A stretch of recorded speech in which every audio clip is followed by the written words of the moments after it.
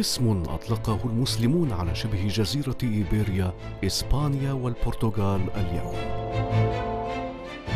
عام 92 للهجرة الموافق ل 711 للميلاد عبر أول فارس مسلم أرض الأندلس. لقد كان فتحا مبينا لطارق بن زياد عندما اجتاز جيشه المضيق الذي سمي باسمه إلى الآن. لتخضع وتنعم الأندلس تحت الحكم الإسلامي لثمانمائة عام. وإلى اليوم كلما مر واحد منا بمدن الأندلس من مدريد وطوليطلة في الوسط إلى سرقسطة في الشمال أو توجه جنوبا إلى غرناطة وقرطبة وإشبيلية ومالاغا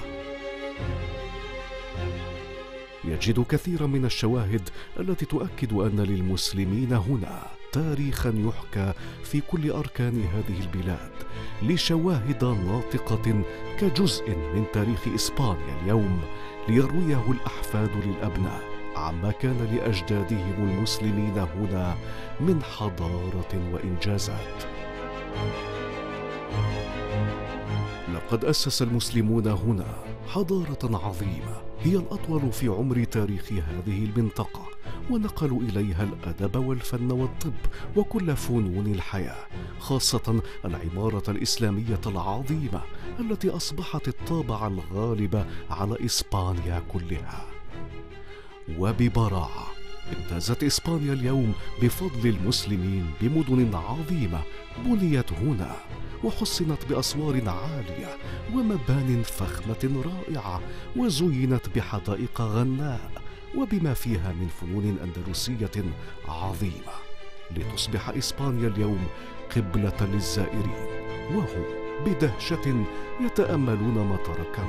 أولئك الآباء والأجداد من معالم وآثار تشهد لهم بالعظمة والإجلال.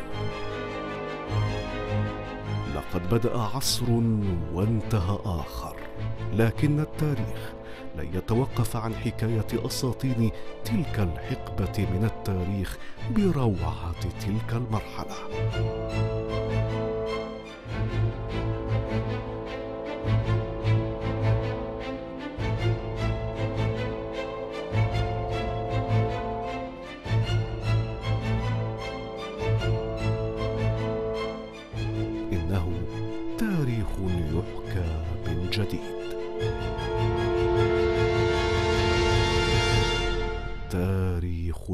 الأندلس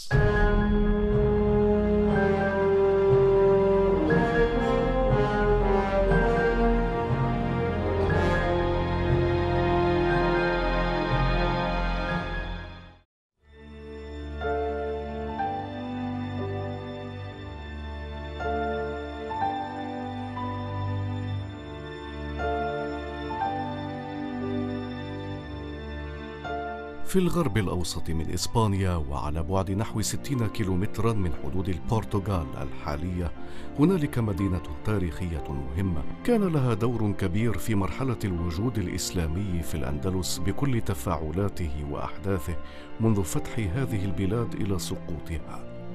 هذه المدينة عرفت في التاريخ الإسلامي للأندلس باسم ماردة مارد الآن هي إحدى مدن مقاطعة بطليوس التي تقع إلى الغرب منها قليلا على حدود البرتغال ويخترقها نهر يانا. وهذه المدينة واحدة من المدن الأربع الكبرى التي بناها الرومان في شبه الجزيرة الإيبيرية وهي قرطبة وإشبيلية وطليطلة بالإضافة إلى ماردة. وكانت تسمى في العصر الروماني أغوستا إميريتا. على اسم قائدهم أغسطس وأقاموا فيها تحصينات وقلاعا وأسوارا وقناطر كثيرة. ومن المقطع الثاني في اسمها اشتق المسلمون اسمها الأندلسي ماردا ويسميها الإسبان اليوم ميريدا. وتتشابك في هذه المدينة الآثار الرومانية والإسلامية مع المباني الحديثة. فتح المسلمون مدينة ماردة في موجة الفتوحات الثانية التي قادها موسى بن نصير عام 94 للهجرة أو 713 للميلاد بعد اكتمال فتح إشبيلية إلى الجنوب منها. وكانت ماردة معقلا خطيرا في أيدي القوط خلف خطوط المسلمين التي تجاوزها طارق بن زياد خلال تقدمه السريع نحو طليطلة عاصمة القوط حينذاك. وقد تحصن في مارد كثير من فلول القوط الذين جاءوا إلى قلاعها الحصينة بعد هزيمتهم في معركة وادي لكة. ولذلك استغرق حصار المسلمين حول أسوارها بضعة شهور. وتشير المصادر الإسلامية إلى أن فتح مارد اكتمل يوم عيد الفطر من ذلك العام بعد جهود شاقة فقدوا فيها كثيرا من جنودهم. وما زال هناك حصن في المدينة يعرف باسم برج الشهداء يشكل شاهدا على التضحيات التي بذلوها في هذه المدينة.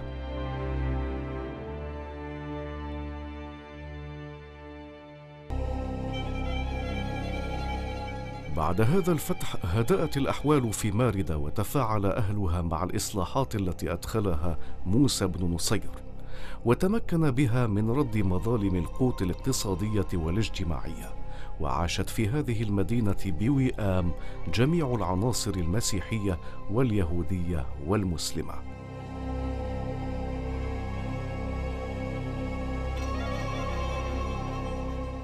هذا الفتح الإسلامي الذي جاء إلى الأندلس جاء بعدالة الإسلام وبرسالة التسامح التي تحفظ للناس حقوقهم وتطلب منهم ما عليهم من الواجبات. ولذلك يعني آه، عندما أتى الإسلام وجدنا في, في, في إسبانيا وجدنا أن المسلمين يعطون الناس حقوقهم فلم تنزع الأراضي من طبقات النبلاء وإنما أعطيت لهم. ولم يفرض عليهم الكثير من الضرائب ولم يرغموا باعتناق الديانة باعتناق الدين الإسلامي ولم يؤخذ أموالهم ولا وحفظت حقوقهم. ولذلك عندما رأى الناس هذا التسامح وهذا المفهوم الرائع للدين الإسلامي فسارعوا الناس إلى اعتناقه نظرا لهذا الواقع الجديد وتأسفا وتحسرا على الماضي المظلم الذي كانوا يعيشونه في غياهب الظلم والجهل والتعسف من الدولة القوطية.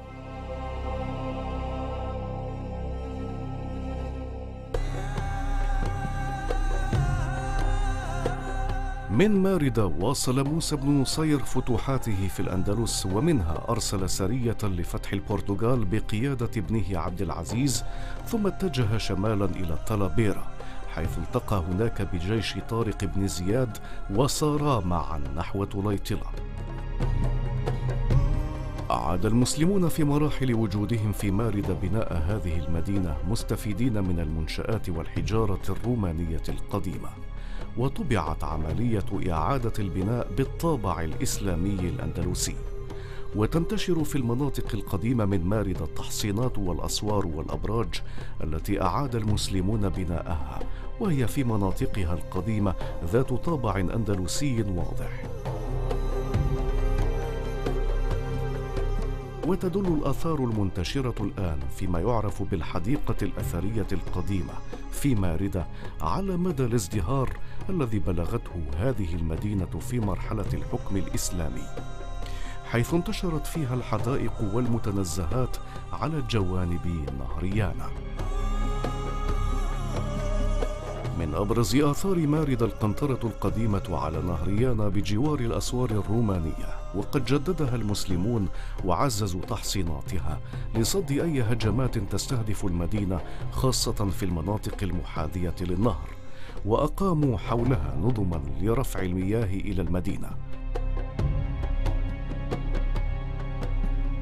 أما أسوار ماردة فهي تدل على ما بلغته هذه المدينة من قوة ومناعة في تحصيناتها وتضم في داخلها أطلال ما كان يعرف باسم القصبة أو القصر والقصبة في الأصل كانت قلعة رومانية ثم قوطية جددها المسلمون أكثر من مرة ولا سيما في عهد الأمير الأموي عبد الرحمن بن الحكم أوائل القرن الثالث الهجري أو التاسع الميلادي. وقد بلغ عدد الأبراج التي أقيمت على هذه الأسوار 25 برجا وهناك لوحة باللغة العربية فوق إحدى البوابات بخط كوفي غير منقوط تدل على أن ما بقي من أسوار المدينة وأبراجها يمثل جزءا من مدينة إسلامية متكاملة. معماري الأندلسي نجح بشكل كتير آه، واضح واستمر إلى الآن. يعني نحن اليوم بنلاحظ نحن مو موضوع الحضارة المعمارية بالأندلس ليس هي موضوع حجر فقط. فموضوع البستنة والحدائق والمي والجداول كانت موجودة وظاهرة بشكل كتير آه، أساسي بالعمارة. يعني نحن اليوم العمارة الأندلسية هي عبارة عن عمارة دينية وعبارة عمارة مدنية وعمارة حربية. فالتمازج هذا اعتمدوا كتير على الخضار على الطبيعة اللي كانت موجودة وعلى طريقة تعاملهم معه اللافت للنظر أن المسلمين خلال حقبة وجودهم في هذه البلاد أبقوا على كثير من المنشآت الرومانية ولم يتلفوها كما أتلف الإسبان فيما بعد مساجدهم. ففي مدينة ماردة حافظ المسلمون على معبد روماني ومسرح كبير فضلا عن قوس تراجان الشهير. ومما اهتم به المسلمون في ماردة المنشآت المائية التي اشتهرت بها الأندلس وتحفل ماردة إلى اليوم بكثير من هذه المنشآت. من بينها أنفاق ما زالت قائمة استخدمت لنقل مياه النهر إلى المدينة. ولم يكتف المسلمون بالجانب الوظيفي العملي لهذه المنشآت بل اهتموا أيضا بالجانب الفني الجمالي فزينوا منشآتهم بزخارف نباتية إسلامية تضيف جمالا إلى ما بنوه في هذه المدينة.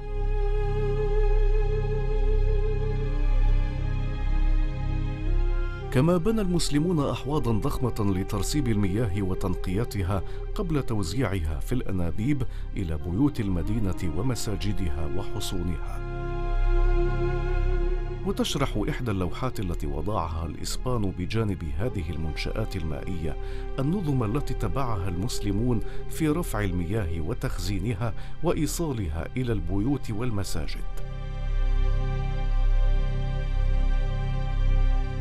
الماء بالنسبة للعرب والمسلمين كان علاقة غريبة.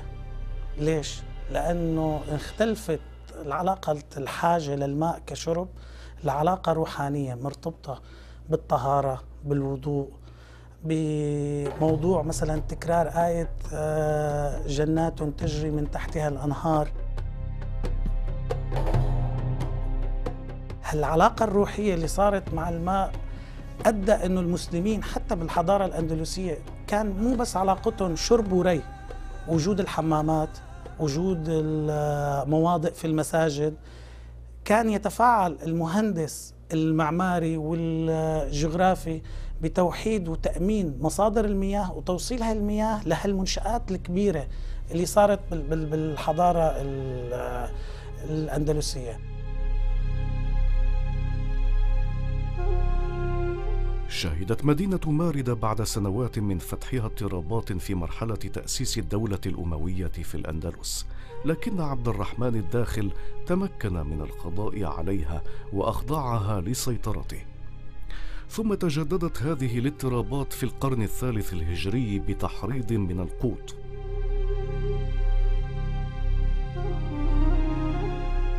وكانت تقود هذه الاضطرابات في الغالب عناصر ممن عرفوا بالمولدين وهم ذو الأصول المختلطة إلى أن تمكن الخليفة الأموي عبد الرحمن الثالث من إحكام السيطرة عليها.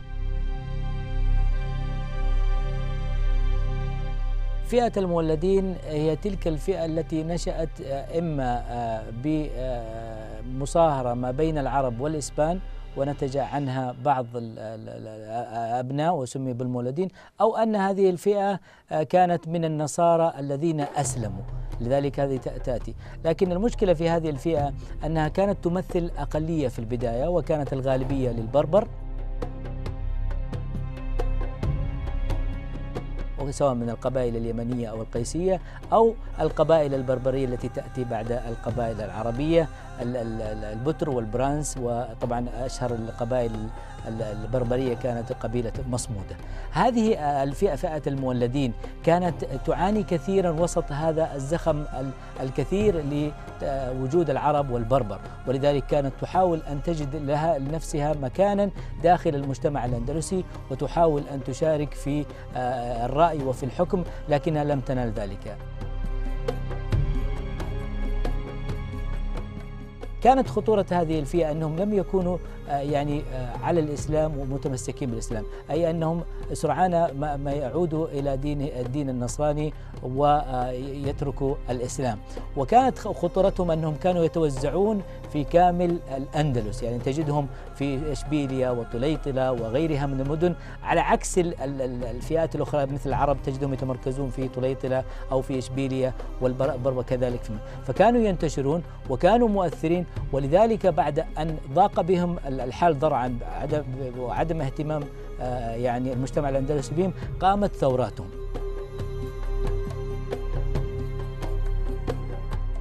مطلع القرن السابع الهجري اشتدت هجمات القشتاليين في الأندلس وحاصروا مدينة ماردة وتمكنوا من السيطرة عليها عام 619 للهجرة أو 1222 للميلاد قبل 25 سنة من سقوط إشبيلية. وفعلوا بهذه المدينة ما فعلوا بغيرها من مدن الأندلس من تخريب وتغيير لملامحها الإسلامية وتحويل مساجدها إلى كنائس.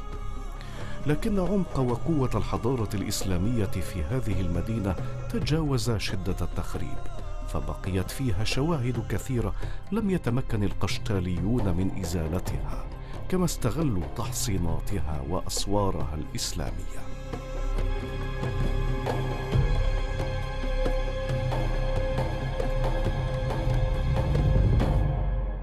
هذه المنتجات الحضارية لا مثيل لها في أوروبا وتحقق كافة متطلبات الإنسان.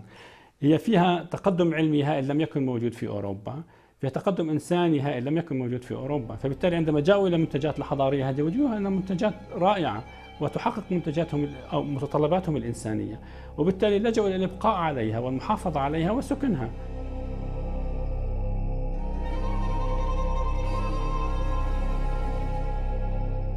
في العصر الحديث تجدد اهتمام الإسبان بإعادة ترميم الآثار الإسلامية في ماردة وبذلوا في ذلك جهودا كبيرة وللتأكيد على الطابع التاريخي الإسلامي لهذه المدينة أقاموا في القرن التاسع عشر فندقا على النمط الأندلسي له فناء ذو عقود وأعمدة عربية أندلسية وبعضها عليه كتابات عربية تعود إلى القرن التاسع الميلادي وربما صنع بعضها فيما بعد المعماريون المدجنون بعد سقوط المدينة في يد القشتاليين